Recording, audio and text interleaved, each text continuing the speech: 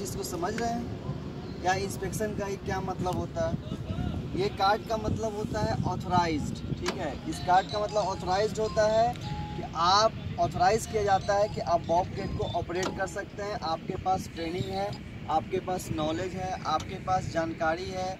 Where is the gear कहाँ gear है? ठीक है? कहाँ क्लच है? कहाँ ब्रेक है? ये सारा सिस्टम आपको पता है और आपको ऑथराइज किया जाता है कि आप ड्राइव कर सकते हैं ऑपरेट कर सकते हैं। अगर आपके पास ये कार्ड नहीं है इट मीन्स आपके पास जानकारी भी है, फिर भी आप ऑपरेट नहीं कर सकते यू कैन नॉट ऑपरेट ठीक है?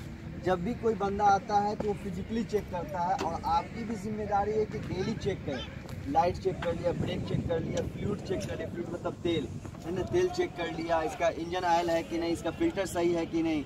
इसका राइट एंड लेफ़्ट का गियर सही है कि नहीं? बकेट का अप एंड डाउन का सही है कि नहीं? ये आपकी भी ज़िम्मेदारी है कि जब आप शुरू करते हैं, सुबह में जब स्टार्ट करते हैं, उस टाइम में आपको चेक करना you should be check first before start operating this bucket आपको पहले इसको सबसे पहले चेक करना है, उसके बाद करना है। और ये मंथली चेक लिस्ट है। ये मंथली है ना? मंथली है ना? ये मंथली चेक लिस्ट है जो आपका जो एक कम्पिटेंट बंदा आवेगा जो ये है, इसको जेनरेटर बोलते हैं, ठीक है? ये आवेगा, ये इंस्पेक्टर है, ये चेक करेगा।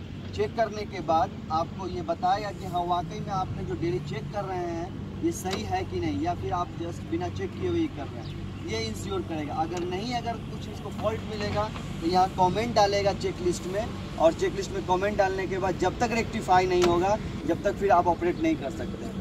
यही इसका मतलब है। ये सारा डॉक्यूमेंट जितना भी पेपर है, ये रिकॉर्ड किया जाता है कि मंथली चेक किया जा रहा है। ठीक है? इसलिए आपका भी ज़िम्मेदारी बनता है कि आप खुद से भी चेक करें। ठीक है? शुक्रिया।